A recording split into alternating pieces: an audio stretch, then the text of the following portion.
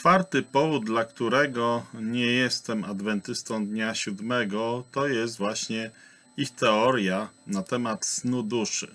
To jest czwarty powód, dla którego nie jestem adwentystą dnia siódmego. Kościół adwentystów dnia siódmego fałszywe nauczanie ma na temat snu duszy. Kościół adwentystów dnia siódmego naucza, że ci, którzy umierają, nie idą do nieba ani do piekła, ale ich dusza śpi nieświadomie w grobie aż do zmartwychwstania. Być martwym nie znaczy iść do nieba, mówi ich publikacja. Nie znaczy iść do piekła, nie znaczy iść do czyśćca. W istocie nie oznacza to w ogóle pójścia gdziekolwiek. Oznacza po prostu koniec życia. I dalej ta publikacja kontynuuje. Śmierć to ustanie życia, brak życia, dokładne przeciwieństwo życia. I dalej ta publikacja adwentystów kontynuuje. Człowiek nie żyje, ciało nie żyje, dusza nie żyje.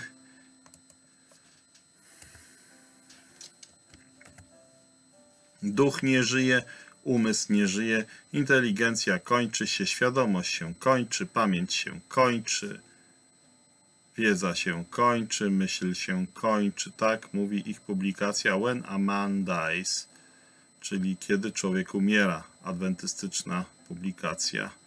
Adwentyzm uczy, że ciało i dusza nie są odrębnymi jednostkami, które mogą się rozstać w chwili śmierci.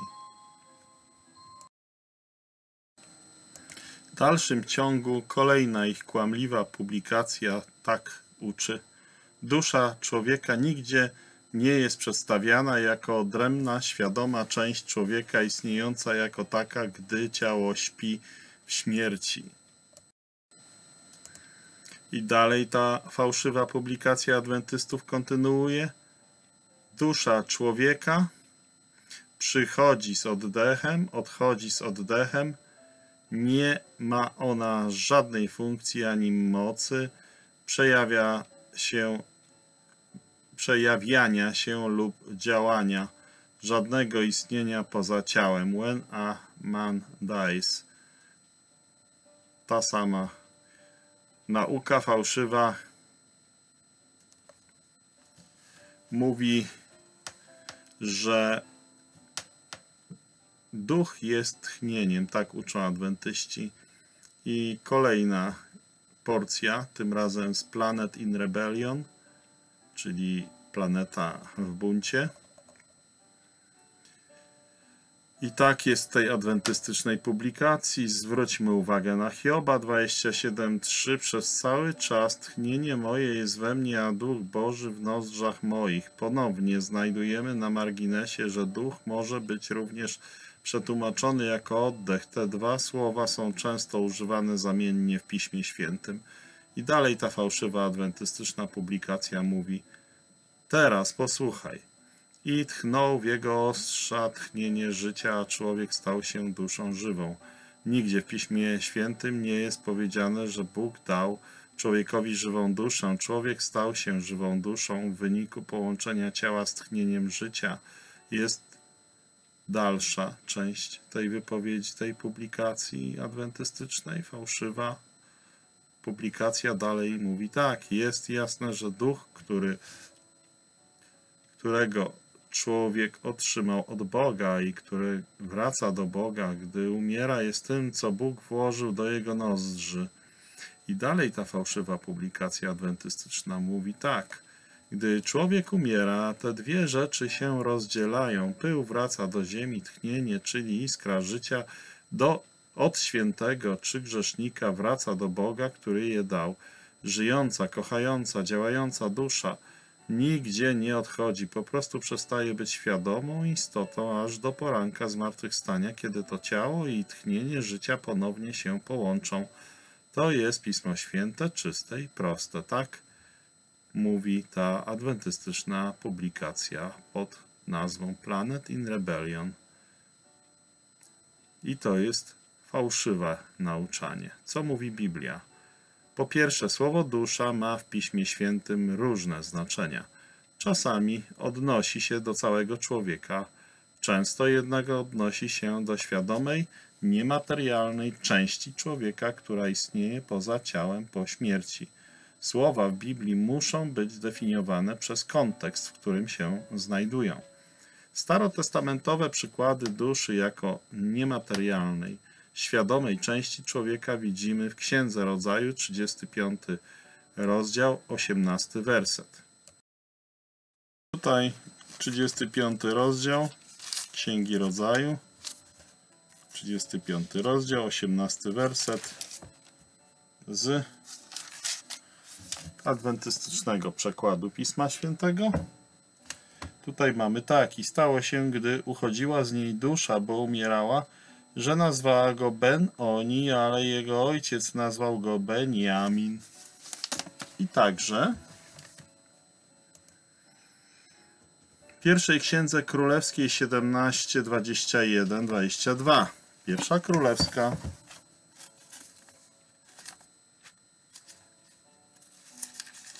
Pierwsza księga królewska, 17 rozdział. 17 rozdział, 21 werset. I rozciągnął się nad dzieckiem trzy razy i zawołał do Pana, mówiąc: Panie mój Boże, proszę przywróć życie tego, życie dziecka do jego ciała i wysłuchał Pan głosu Eliasza i przywrócił życie dziecka do jego ciała i ożyło.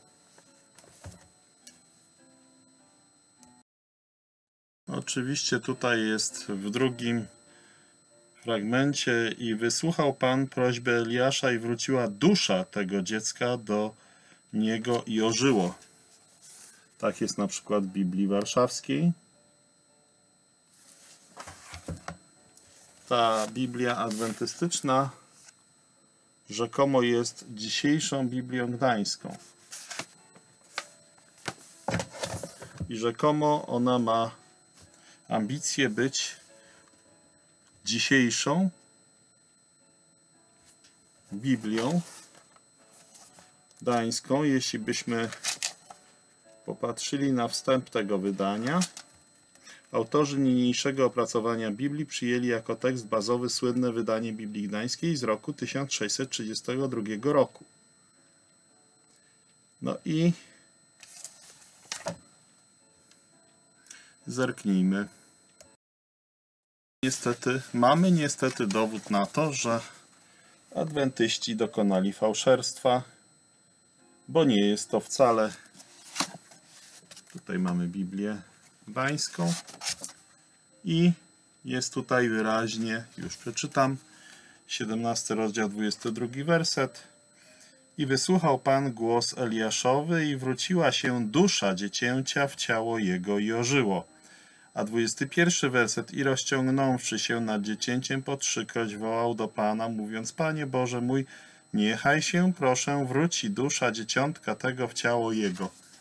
Widzimy, że dzisiejsza Biblia Gdańska nie jest w żadnym sensie Biblią Gdańską. Jest to niestety inny produkt. Jeżeli nawet nie mają wstydu i dokonują tego typu manipulacji, to już nie jest dobrze.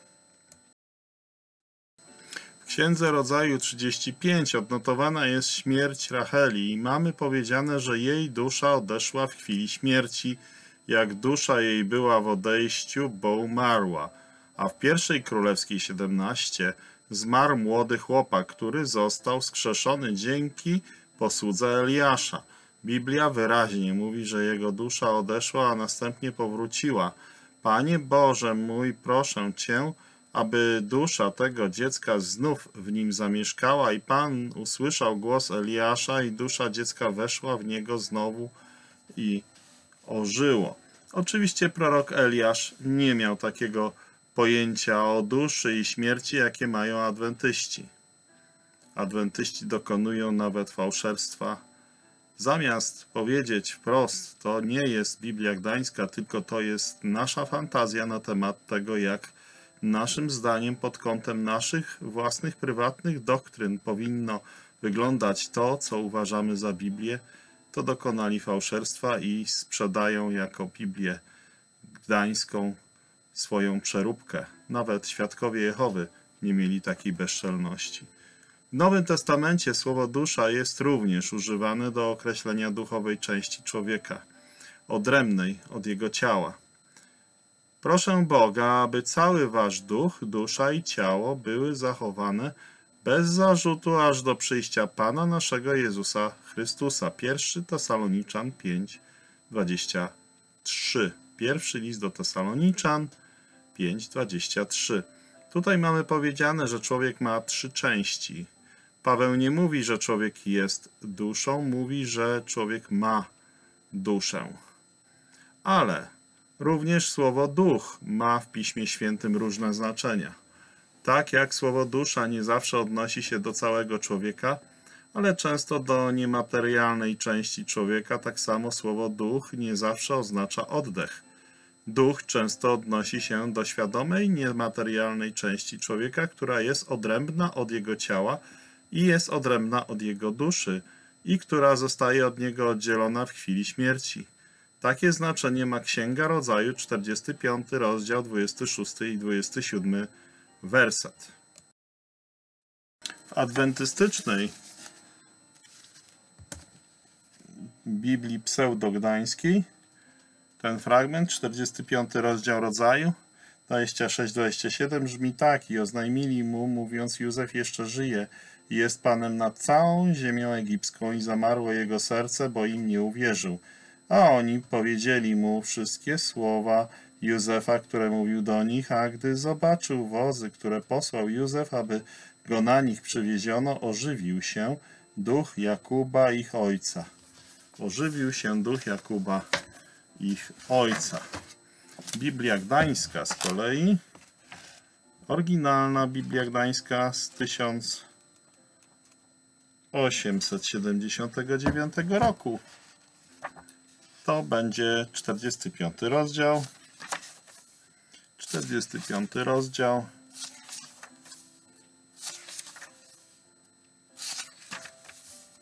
I sprawdzamy 26-27 werset. I oznajmili mu, mówiąc, jeszczeć żyw Józef, o on ci jest panem nad wszystką ziemią egipską i zemdlało serce jego, bo im nie wierzył.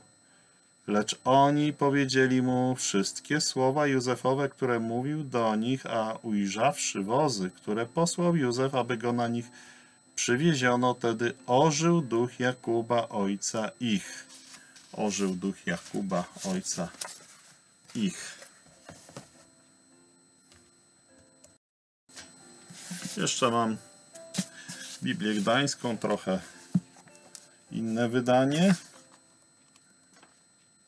z 1967 roku. I zobaczmy, to jest rodzaju pierwsze Mojżeszowe 35, 45, 26. Powinno być tak samo, no, ale już straciłem pewność. I 45, 20 6:27 i oznajmili mu, mówiąc: Jeszcze żyć Józef, a on ci jest panem nad wszystką ziemią egipską i zemdlało serce jego, bo im nie wierzył. Lecz oni powiedzieli mu wszystkie słowa Józefowe, które mówił do nich, a ujrzawszy wozy, które posłał Józef, aby go na nich przywieziono, wtedy ożył duch Jakuba, ojca ich. Aż jestem ciekaw, czy to jest ten sam układ. Tak, 48 strona. Dokładnie w tym samym miejscu te same słowa, czyli nie ma potrzeby tutaj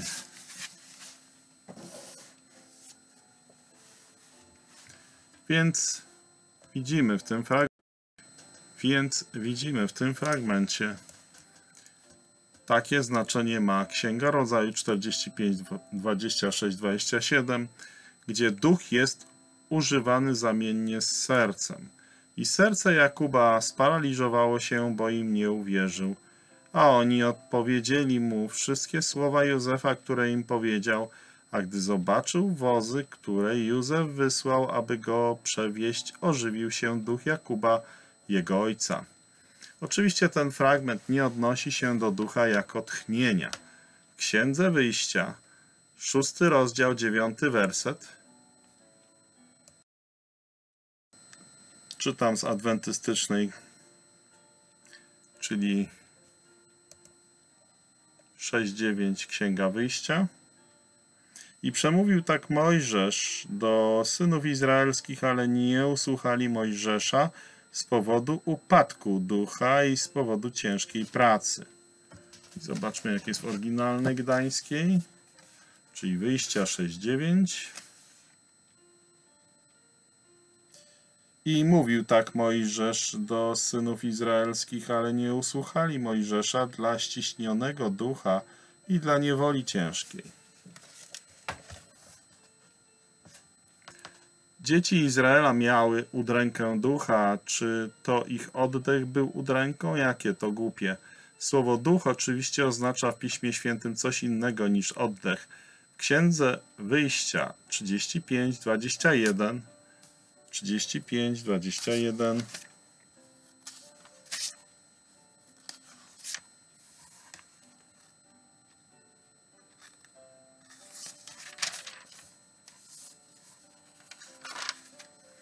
35, 21 czytamy tak. I przychodził każdy mąż, którego pobudziło jego serce i każdy, którego skłonił jego duch i przynieśli dar Panu do wykonania namiotu zgromadzenia i do wszelkiej służby w nim i na święte szaty, czyli skłonił jego duch. 35,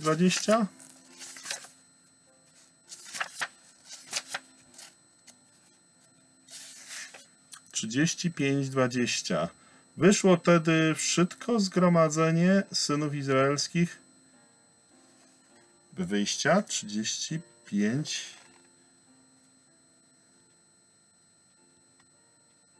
21, przepraszam. I przyszedł każdy mąż, którego pobudziło serce jego i każdy, w którym dobrowolny był duch jego, przynieśli podarek Panu do zrobienia namiotu zgromadzenia i do wszelkiej potrzeby jego i na szaty święte. Czyli widzimy tutaj skłonił jego duch. to w Księdze Wyjścia 35-21 Biblia opisuje tych, którzy przyczynili się do budowy przybytku, jako tych, których serce poruszyło i każdego, kogo duch jego uczynił chętnym. Czyli widać, duch uczynił chętnym. Innym przykładem jest Księga Powtórzonego Prawa, Księga Drugiego Prawa 2.30. W Księdze Drugiego Prawa 2.30 Księga drugiego prawa 2.30 Ale Sychon, król Heszbonu, nie chciał pozwolić nam przejść przez swoją ziemię, bo Pan, Twój Bóg, uczynił zawziętym jego ducha i znieczulił jego serce, aby wydać go w Twoje ręce, jak to dziś widzisz. Czyli widać, że duch stał się zawzięty. I to jest księdze drugiego prawa, Drugi rozdział, drugi rozdział, 30 werset. Ale nie chciał Sechon, król hezboński, pozwolić nam przejścia przez ziemię swoją, bo był, zatwardził Pan, Bóg Twój, ducha Jego i stwierdził, stwierdził serce Jego, aby go podał w ręce Twoje, jako to dziś widzisz. Tutaj znajdujemy Boga, który hartuje, utwardza ducha króla Sychona. Pierwszej księdze królewskiej 21:5 mówi się, że król Ahab miał smutnego ducha. Z pewnością żadne z tych odniesień nie może być interpretowane jako mówiące o duchu jako o tchnieniu. Doktryna adwentystów dnia siódmego, że duch jest ograniczony do oddechu, jest sprzeczna z nauką biblijną. Nowy Testament z kolei wyraźnie opisuje śmierć jako odejście ducha od ciała. Kiedy dochodzimy do Nowego Testamentu, wszelka niepewność pozostająca z naszych studiów starotestamentalnych znika w świetle pełnego objawienia Nowego Testamentu. Jedna, jednolita doktryna o śmierci znajduje się w całym Nowym Testamencie. Tutaj śmierć jest wyraźnie postrzegana jako odejście ducha od ciała i odejście duszy od ciała. Śmierć ciała nie narusza życia duszy. Śmierć oznacza oddzielenie, a nie zaprzestanie. To dlatego Adam i Ewa mogli umrzeć tego samego dnia, kiedy spożyli owoc. Umarli duchowo, byli martwi w występkach i grzechach. Później również ich ciało zgasło. Później umarli fizycznie i ducha została, dusza, została, dusza została oddzielona od ciała. Taka była ortodoksyjna doktryna o śmierci przez cały wiek Nowego Testamentu. Taka była prawdziwa, zgodna z prawdą Słowa Bożego doktryna o śmierci przez cały wiek Nowego Testamentu. Nowy Testament uzasadnia przekonanie, że śmierć jest odejściem ducha z ciała do innej świadom, świadomej sfery istnienia. Po pierwsze, to ciało umiera i to widzimy w Jakuba 2:26. Zobaczymy, czy w adwentystycznej Biblii jest. No to jest taki oksymoron teraz. Yy, adwentystyczna Biblia. Albo Biblia, albo adwentystyczna, jak widzimy. Niestety brak bojaźni przed ich oczami. 26. Bo jak ciało bez ducha jest martwe, tak i wiara bez uczynków jest martwa. A jak mówi Gdańska, prawdziwa? Jakuba 2, 26. Albowiem jako ciało bez duszy jest martwe, tak i wiara bez uczynków martwa jest. No to w końcu jest to Gdańska, czy nie Gdańska? Gdańska ma ciało bez duszy jest martwe, a w adwentystycznej podróbce jest ciało bez ducha. To albo się chcemy nazywać od gdańskiej Biblii i wtedy używamy słownictwa gdańskiej, albo jesteśmy kłamczuchami. Jak tak można oszukiwać? Albowiem jak ciało bez duszy jest martwe, tak i wiara bez uczynków martwa jest. W Gdańskiej jest. Gdzie jest to? 2,26. Proszę bardzo, tutaj. Duszy. A jak jest adwentystycznej? Tu mamy Jakuba. Proszę bardzo. Nie nie zmyślam. Nie zmyślam. Tu jest, o, proszę bardzo, ducha. Przecież to jest dzisiejsza Biblia, ale nie gdańska, tylko adwentystyczna. Na pewno nie gdańska. To koło gdańskiej nie leżało. Po drugie, apostoł Paweł zaświadczył, że śmierć jest podróżą i to możemy zobaczyć w 2 Koryntian 5 rozdział 6 i 7 werset. I to mamy 2 Koryntian. 2 Koryntian.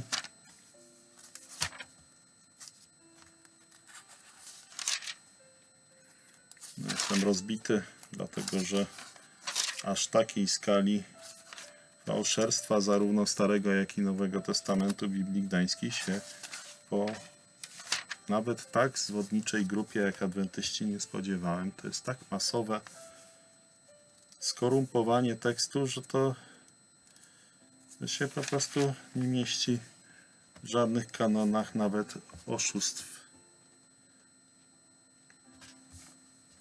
Przeto mając zawsze ufność i wiedząc, że póki mieszkamy w tym ciele, jesteśmy oddaleni od Pana, bo przez wiarę chodzimy, a nie przez widzenie. Mój duch zgasł przez to, co zobaczyłem. Drugi Koryntian, piąty rozdział.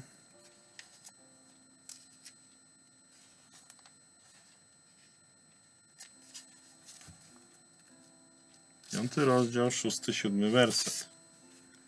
Przetoż mamy zawsze ufność i wiemy, że mieszkając w ciele odchodzimy od Pana, bo chodzimy wiarą, a nie widzeniem.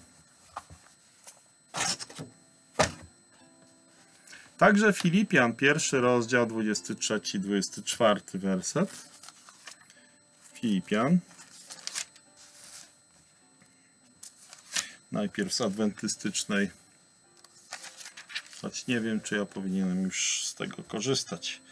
Gdyż obejmowany jestem z dwóch stron, pragnąc być rozwiązany i być z Chrystusem, bo to o wiele lepiej lecz zostać w ciele bardziej konieczne jest z uwagi na Was. I drugi Tymoteusza 4,6. Drugi Tymoteusza, czwarty rozdział, szósty werset. Ja bowiem już niebawem będę ofiarowany, a czas mego rozwiązania nadchodzi.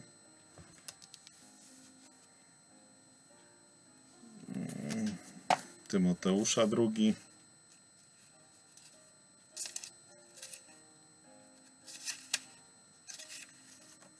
Czwarty rozdział, szósty werset.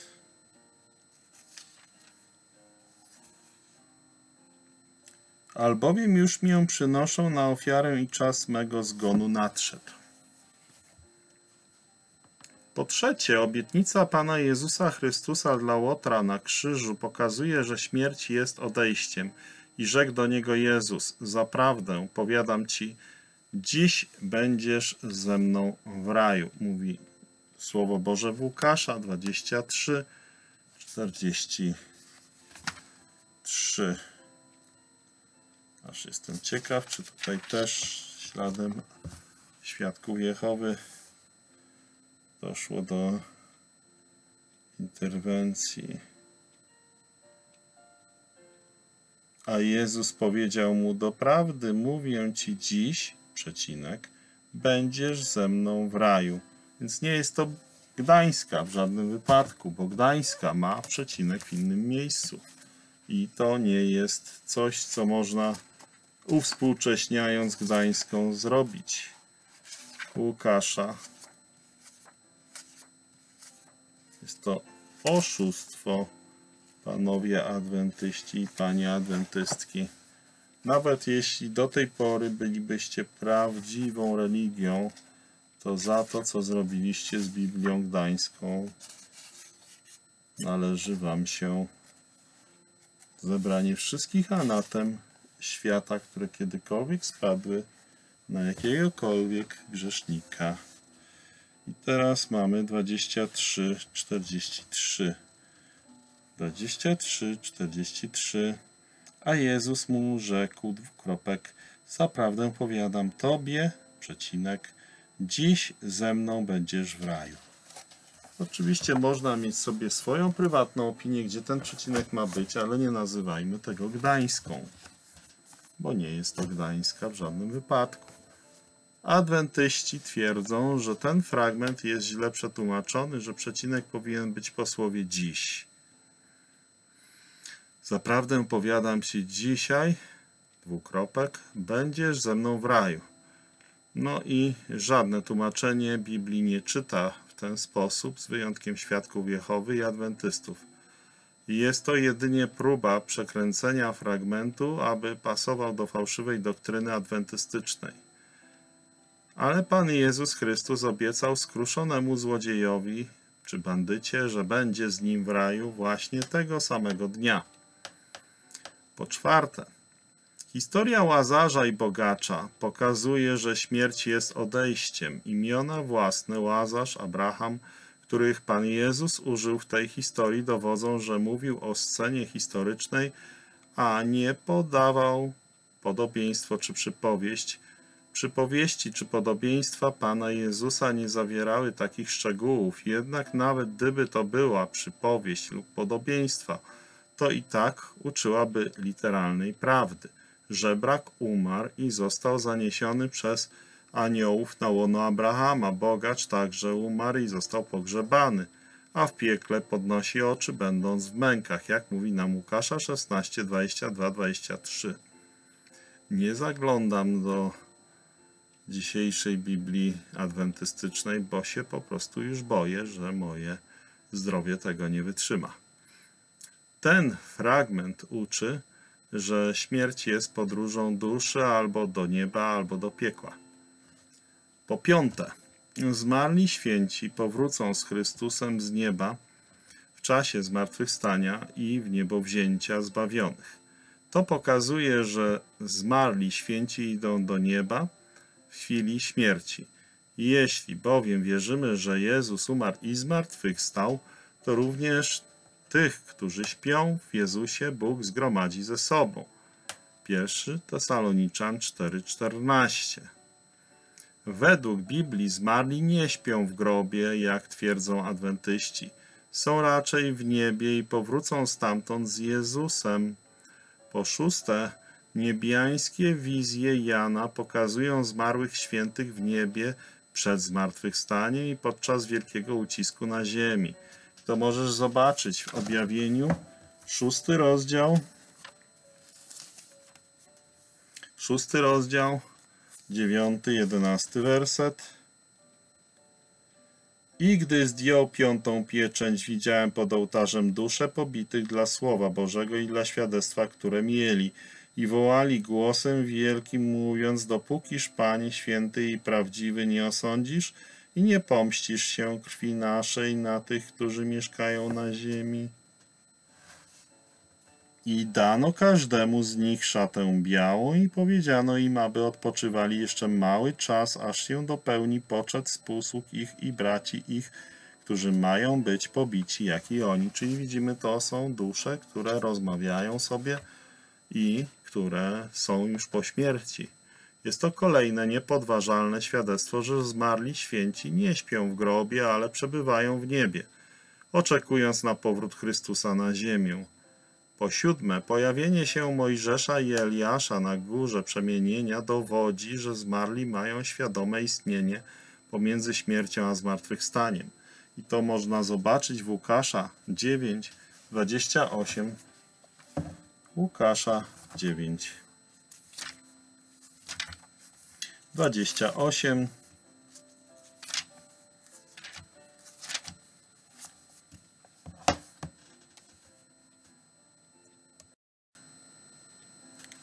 Łukasza 9:28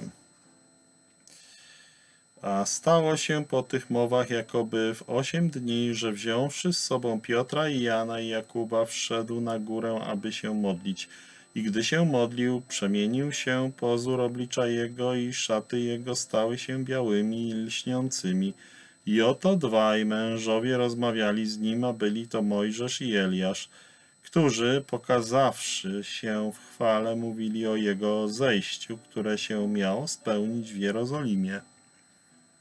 A Piotr i ci, którzy byli z nim, obciążeni byli snem, a ocuciwszy się, ujrzeli jego chwałę i dwóch mężów, którzy z nim stali. I stało się, gdy oni odeszli od niego, że Piotr rzekł do Jezusa, Mistrzu, Dobrze nam tu być, przeto zróbmy trzy namioty, Tobie jeden i Mojżeszowi jeden i Eliaszowi jeden, nie wiedząc, co mówi. Że Piotr i inni apostołowie nie widzieli tylko przyszłej sceny tysiącletniego królestwa, dowodzi fakt, że Mojżesz i Eliasz rozmawiali z Panem Jezusem o jego zbliżającej się śmierci. Mojżesz i Eliasz choć martwi, pojawili się na tej górze i rozmawiali o wydarzeniach, które wkrótce miały mieć miejsce w Jerozolimie. Jest to oczywiste, że Mojżesz i Eliasz nie śpią w grobie. Z tego przeglądu Nowego Testamentu jasno wynika, że człowiek ma ducha i duszę, które odchodzą od ciała w chwili śmierci i żyje wiecznie albo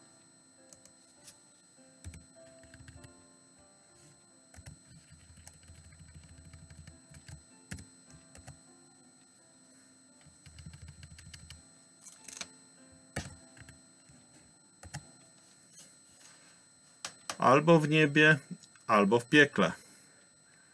Biblia mówi o śmierci zarówno jako o śnie, jak i o podróży. Jest to sen ciała i podróż ducha. Już w Starym Testamencie jesteśmy nauczani, że śmierć oznaczała oddzielenie od ciała przez ducha. W Księdze Rodzaju 25:8 Abraham oddał ducha i umarł i został zebrany i został zabrany do swego ludu. Już w Starym Testamencie jesteśmy nauczani, że śmierć oznaczała oddzielenie od ciała ducha. W Księdze Rodzaju 25:8 25:8 i ustawając umarł Abraham w starości dobrej, zeszły w leciech i sytych dni i przyłączon jest do ludu swego. Oddał ducha i umarł.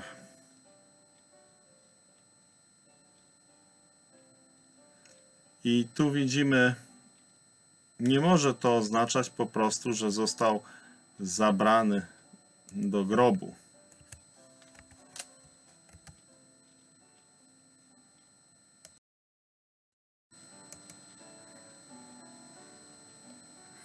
Nie może to oznaczać po prostu, że został zabrany do grobu, ponieważ lud Abrahama nie został pochowany w Mamre. Zostali pochowani w odległym Haranie, jak mówi pierwsza Mojżeszowa, 11 rozdział, 31 do 32 wersetu. W Księdze Rodzaju 35:18 zapisane jest, że dusza dusza Racheli odeszła w chwili śmierci. I to widzimy Księga Rodzaju 35:18.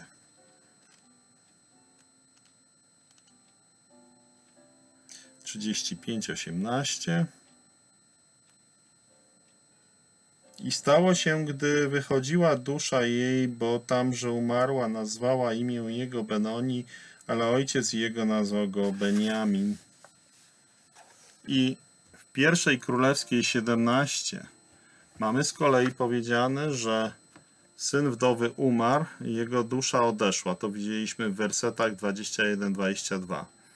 Bóg powiedział Mojżeszowi w księdze liczb 27 13, że zostanie on zabrany do swojego ludu. Z dwóch powodów nie mogło to oznaczać, że spałby w grobie. Po pierwsze, ludzie Mojżesza nie byli pochowani na pustyni, gdzie umarł. Po drugie, Mojżesz pojawił się wieki później z Jezusem na górze przemienienia i był wtedy całkiem przytomny. Tak więc bez względu na to, gdzie szukamy w Piśmie Świętym, widzimy, że śmierć nie oznacza nieświadomego snu w grobie. Śmierć ciała nie narusza życia duszy i śmierć ciała nie narusza życia ducha. A duch to nie dusza, dusza to nie duch. Fragmenty, które mówią o śmierci jako o śnie, takie też istnieją, wypowiadają się poetycko, przenośni. Niektóre starotestamentowe wzmianki o śmierci, szczególnie w księdze Eklezjastesa, mówią o niej z punktu widzenia tego świata i w sposób poetycki, bo jest to księga poetycka. W tym sensie prawdą jest, że zmarli nie chwalą Boga na tym świecie. Tematem kaznodziei albo Eklezjastesa jest pod słońcem.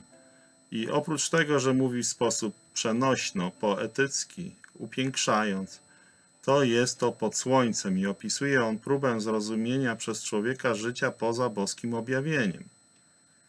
Także mamy kolejny argument. Doktryna o nieśmiertelności została w pełni objawiona dopiero w Nowym Testamencie. To można przeczytać w pierwszym Tymoteusza, pierwszy list do Tymoteusza, rozdział pierwszy, rozdział pierwszy, dziewiąty, dziesiąty werset.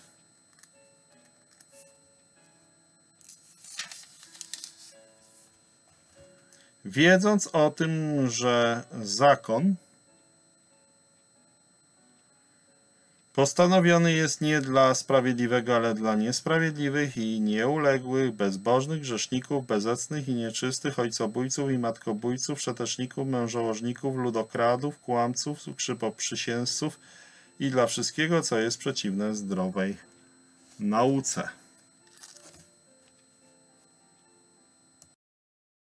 Nas zbawił i powołał powołaniem świętym nie według uczynków naszych, ale według postanowienia swego i łaski danej nam w Chrystusie Jezusie przed czasy wiecznymi, a teraz objawionej przez okazanie się Zbawiciela naszego Jezusa Chrystusa, który śmierć zgładził i życie na jaśnie wywiódł i nieśmiertelność przez Ewangelię. Czytamy tak w drugim Tymoteusza, pierwszy rozdział 9 do 10 wersetu. To właśnie wraz z przyjściem Chrystusa doktryna o życiu poza grobem ujrzała pełne światło. Dlatego nie wolno nam interpretować Nowego Testamentu w świetle Starego Testamentu, ale Stary w świetle Nowego. Dokładnie tak samo, jak jest na przykład szósty rozdział pierwszej Mojżeszowej, gdzie synów bożych ze Starego Testamentu należy interpretować w świetle Nowego Testamentu, a nie odwrotnie. To jest naprawdę przekomiczne, jak ludzie robią takie śmieszne rzeczy. Powód piąty. Unicestwienie złych. To jest kolejny błąd adwentystyczny. Piąty powód, dla którego nie jestem adwentystą dnia siódmego, będzie właśnie tego dotyczył. I jest powiązany z tym dzisiejszym tematem, związanym z snem duszy.